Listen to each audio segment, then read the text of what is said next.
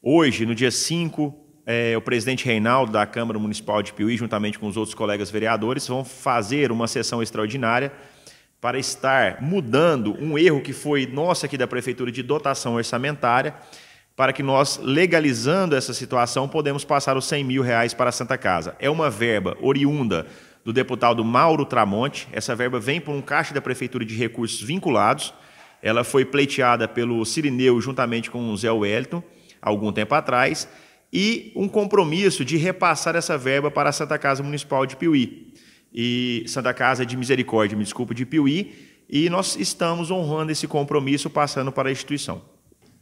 Com certeza será aprovado pela Câmara, doutor Paulo, e será um dinheiro que vai ser muito bem-vindo para a Santa Casa, porque a Santa Casa, a gente sabe bem, nós até conversamos com o senhor José Soares de Mello, provedor, que a Santa Casa passa por um período, não só de Piuí, mas todas as Santas Casas, que passam por um período muito difícil, não é mesmo?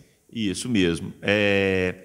A Câmara já aprovou esse projeto, esse dinheiro já era para ter sido repassado, só que não foi, conforme eu volto a falar, por um erro nosso aqui da Prefeitura. A dotação orçamentária que nós colocamos no projeto inicial estava errada. Então, eles estão corrigindo essa questão só de dotação orçamentária, é só forma documental.